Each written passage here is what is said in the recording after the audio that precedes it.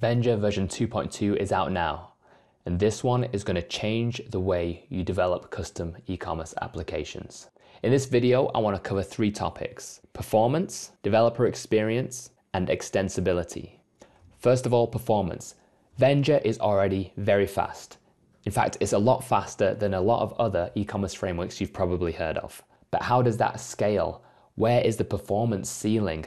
What kind of scale can you build at with a Vendure application? Well, the great thing about being an open source project is that we have a community full of developers from all kinds of companies working at all kinds of scales. Now, one team in particular is working on a very large marketplace application. They have 22 channels that are operating across European countries, 180,000 products, over 1 million product translations, 4 million product variants, and 28 million variant translations. They've got over 1.3 million product images and over 4,000 facet values. And honestly, they were reaching the performance ceiling of Vendure at this scale. So when it came to updating all the dependencies for version 2.2. One of the main areas of focus that I was interested in was the data access layer. This is how your application code interfaces with the data in your database. And it turns out that this is the point where a lot of the bottleneck was located. So over the past couple of months, I've been working very closely with this team, and in particular one developer, Eugene Nitsenko, very, very impactful changes. First of all, let's look at the kind of performance issues they were running into at that scale. So we can see here in Vendure 2.1, the product list query could take between 7 and 15 seconds. Just viewing a product detail could take from 5 to 10 seconds. Variants can take 7 to 15 seconds, and so on. Even something as simple as a variant detail takes 1 second, which is much longer than you should expect for a single item. So, of course, this is not the kind of latency that we expect from Vendure.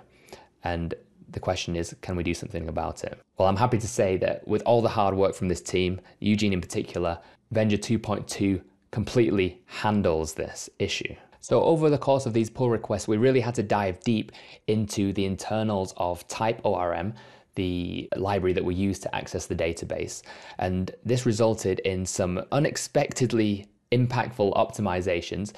And we've even now got uh, pull requests in with the Type ORM project itself. Again, this is the beauty of open source. When we make a breakthrough, then we can share it to the whole community of Type ORM users, and there's literally millions of them.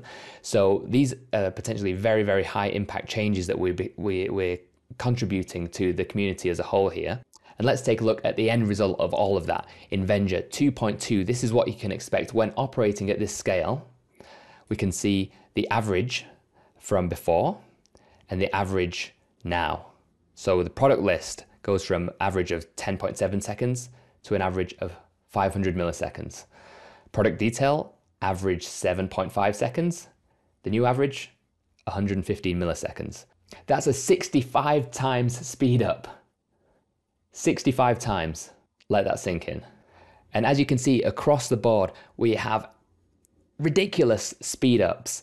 I mean, this is this is this this is just completely handled this situation. So I can confidently say that Vendure version 2.2 is the fastest version of Vendure ever, and it probably pushes Vendure into the realms of fastest e-commerce frameworks. So that's a major performance increase in Vendure 2.2.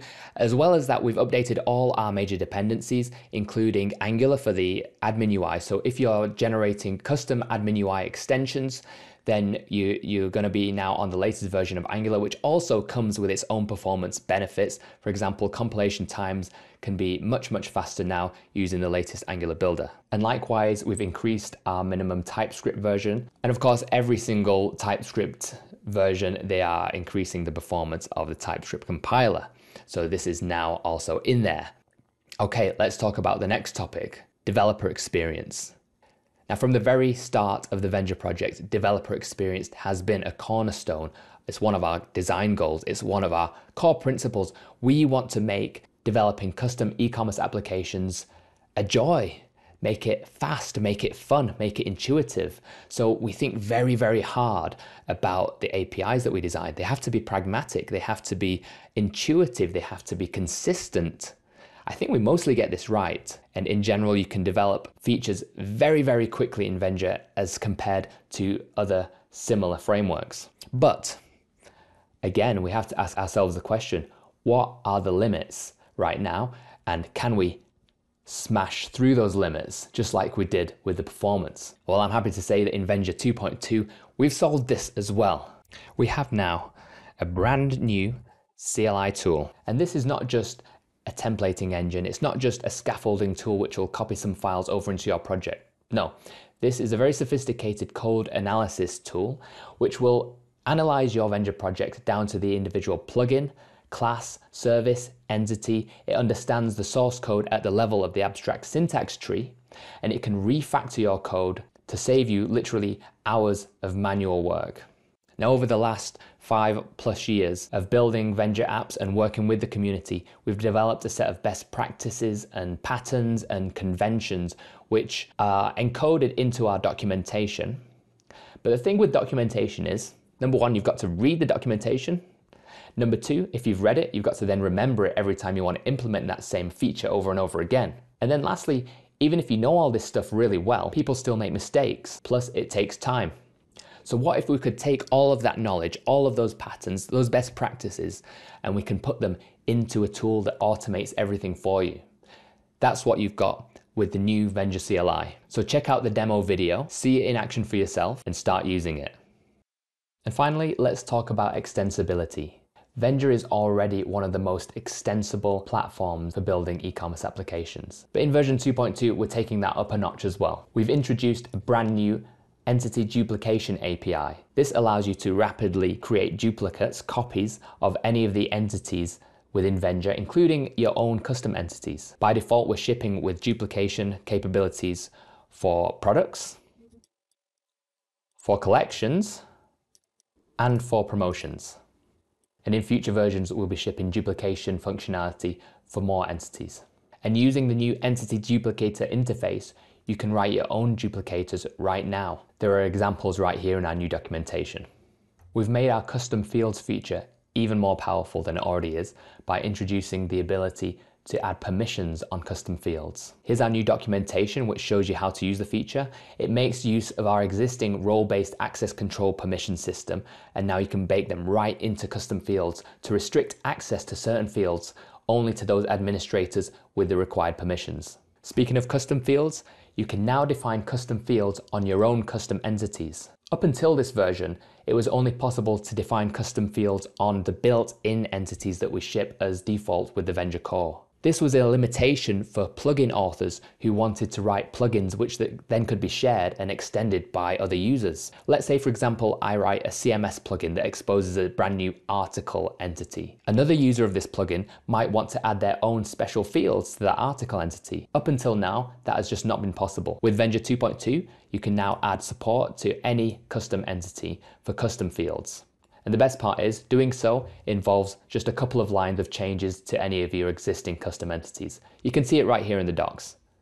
We've also increased the number of ways you can extend our admin UI. It's now possible to define custom alerts, so you can write a plugin which can give the administrator alerts when they need to take some action. For example, in our new documentation, you can see this example where the administrator gets notified when there's an order that requires some kind of approval. And we have this full example here in our new documentation. We've also added the possibility to define custom drop-down menu items on any screen in the admin UI. So here's an example in our brand new docs where we're adding an invoice button to the drop-down menu for the order detail page. The same can be done on any list or detail view in the whole admin UI app. And finally, it's now possible to override any of the built-in routes in the admin UI app.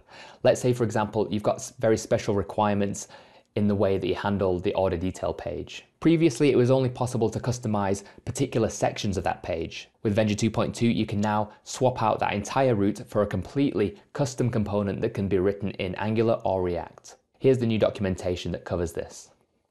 There are way more features and fixes in this release the rest of them are covered in the release blog post and in the changelog, of course. But as you can see, this is the best ever version of Vendure. I'd like to end by thanking our community for all of the support, all of the bug reports, the feature requests, and of course the direct contributions that have gone into this version. I'm really excited to see what you all build with this latest version of Vendure.